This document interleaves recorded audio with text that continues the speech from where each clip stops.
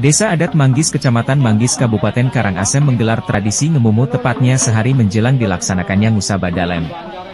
Tujuan dilaksanakannya tradisi ngemumu ini adalah untuk menetralisir pengaruh atau unsur negatif sebelum dilaksanakannya Ngusaba Dalem dan Nyepi adat desa setempat.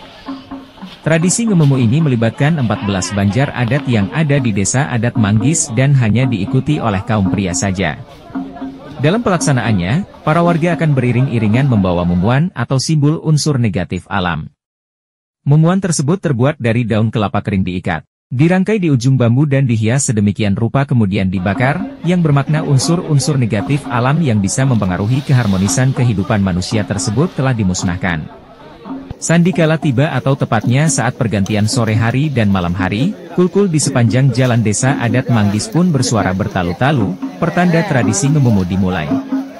Para pria dari anak-anak hingga dewasa terlihat mulai membakar mumuan mereka, kemudian berjalan beriringan sambil membawa mumuan yang sudah dibakar menuju kuburan.